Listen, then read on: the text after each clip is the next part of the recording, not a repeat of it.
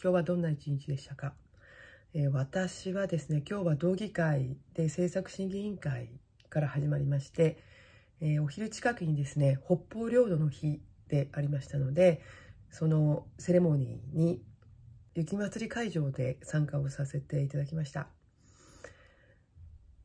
またその次からまたすぐにですね常任委員会ありました農政委員会でありましてその後ですねまたすぐに、えー、政策審議委員会に入りました、えー、今は次の定例会に向けて各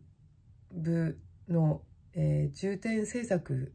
を、え聞いていますけれども、え農政では酪農、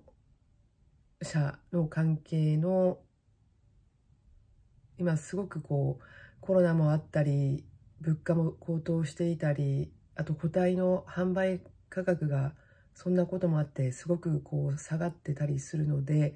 酪農者の方々の経営が本当に難しくなってきています。また林業の世界ではスマート農業だったりとか、まあ、J クレジットのこともそうなんですけども、まあ、電気代の高騰が本当に各業界問題があるということですごい聞いてますので、えそんな中でですねスマート農業を含めてやっていけるのかますます、まあ、今後こうどうや国が進めていく政策の中で電気代の高騰含めて資材の高騰またあの賃金引き上げのこともいろいろ国では言ってるんですけども、実際に北海道でしっかりとこう生み出していく